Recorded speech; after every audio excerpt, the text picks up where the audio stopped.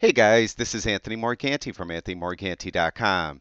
This is episode 63 of Lightroom Quick Tips. In this episode, I'm going to show you how you could get porcelain skin on your model using Lightroom. Now, as you might imagine, I get a lot of email, and often people email me suggestions. They read something somewhere and they thought it might make a great video, and I really do appreciate it when folks send me suggestions. And John Meacham recently sent me this suggestion. He said that he read it in Scott Kelby's blog, so I checked it out. And typically, uh, porcelain skin is very popular, uh, something that probably was more popular, to tell you the truth, in the late 90s, early 2000s, but it is still done quite often. And uh, Lindsay Adler comes to mind. She's a New York based photographer, and she often does fashion shoots and does a porcelain skin look. Now this specific look that I'm going to show you done in Lightroom, according to Scott Kelby, was originally done by um, Calvin Hollywood. Calvin Hollywood is a German photographer who's a great teacher.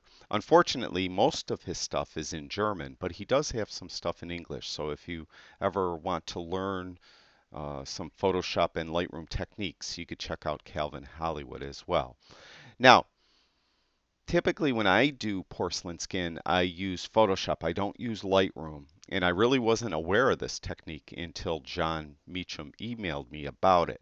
It does have some shortcomings doing it in Lightroom, and I purposely picked this image to show you this technique because I want you aware of the problems you may encounter and what you could do to avoid them. Now, to get the porcelain look in, in Lightroom is very easy. Uh, you just go to the HSL Color B&W tab, you go to this saturation sub tab and you go to the orange slider and you're going to take this orange saturation and pull it all the way down. Now when I did that, this is one of the problems you'll have. You could see now there's red obviously on Courtney's hat and sweater and it affects other colors in your image. So you have to be aware of that. So we pulled the saturation of the orange all the way down. Next, we're going to go to the luminance subtab. And according to Scott Kelby's blog, you would take this and you would turn it all the way up. And it does give us the porcelain skin look, but in this case, it's a little bit blown out now because it's causing her uh, to lose detail in her face over here.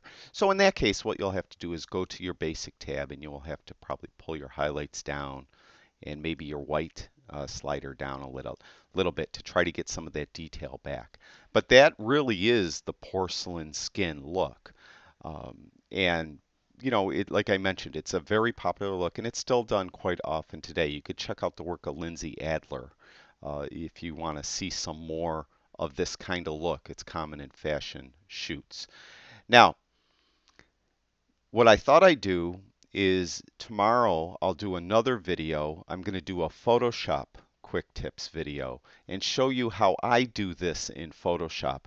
Photoshop is a little better because you could do it without affecting anything else in the image. This is a relatively simple picture here, I just had Courtney in front of a white seamless paper background, but that might not be the case for you. You might have your model in front of a very complex scene. And if you're turning orange all the way down uh, as far as saturation, you might affect a lot of other colors in the background or in that scene, and you might not want that to happen. That's when you really need Photoshop. And I know a lot of you folks now are you uh, purchased the Photoshop CC package or the photographer's package from Adobe that includes Photoshop. So I'll show you how to do that tomorrow in that Photoshop quick tips video. Again, I'd like to thank John Meacham for uh, giving me this idea for this video. I hope that helps you and I hope this does come in handy. I'll talk to you guys soon.